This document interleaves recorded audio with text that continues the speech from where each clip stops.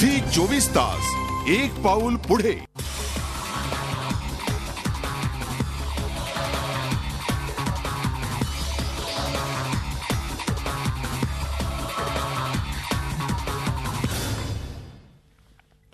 गोड शितप्यांची कटू कहाणी आपण प्राईम वॉचमध्ये बघतोय. डॉक्टर यशवंत देशपांडे नागपूरच्या स्टुडिओमध्ये आहेत आपल्या. आपण थेट जाऊयात नागपूरला. डॉक्टर साहेब खरं तर अशा पद्धतीच्या या सगळ्या पदार्थांचं आपण सेवन करायलाच नको. ही अशी कोल्ड्रिंक शीतपेय रस हे सगळे आरोग्याला घातक आहेत. पण तरी देखील लहान मुलं हट्ट करतात. बऱ्याचदा म- मोठ्यांना देखील कंट्रोल होत नाही. सगळे त्या ठिकाणी जातात. हे अशा पद्धतीचा रस ज्यूस हे सगळं घेतात. मात्र हे सगळं आपण जर घ्यायचंच असेल आपल्याला तर काय खबरदारी बाळगावी. कलर्स याच्यामध्ये कुठले असावेत?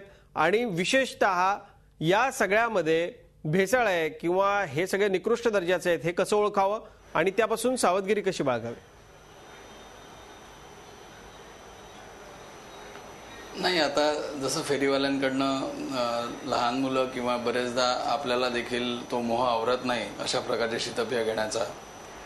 तर नेहमीचा जर फेरीवाला जर असेल तर त्याला काही सूचना नक्कीच केल्या जाऊ शकतात.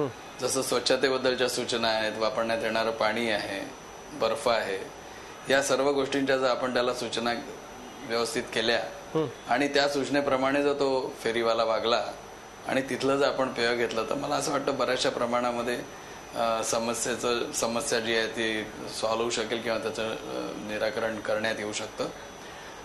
बाकी जर नेहमीचा फेरीवाला जर नसेल आणि त्याच्या स्वच्छतेबद्दल आणि बाकी गोष्टींबद्दल जर आपण जर साशंक असू तर मला वाटतं अशा ठिकाणी आपण अशा प्रकारचं पेय घेणं जे आहे ते अवॉइड करायला हवं. निश्चित. चांगल्या स्वच्छ दुकानातनं आणि जिथे व्यवस्थित वातावरण आहे अशा ठिकाणून घेतलेलं जे आहे ते आरोग्याच्या दृष्टीने नक्कीच फायद्याचं राहील. निश्चित. डॉक्टर यशवंत देशपांडे आपण आलात प्राईम वॉशमध्ये आज आणि एका महत्त्वाच्या विषयावरती आम्हाला मार्गदर्शन केलं. धन्यवाद आपले.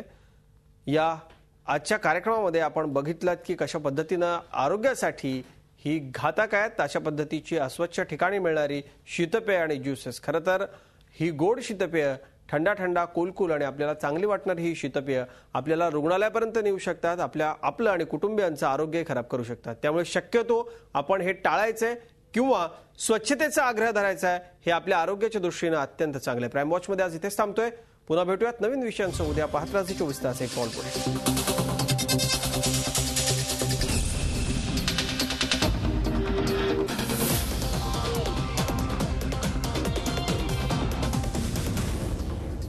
झी चोवीस तास एक पाऊल पुढे.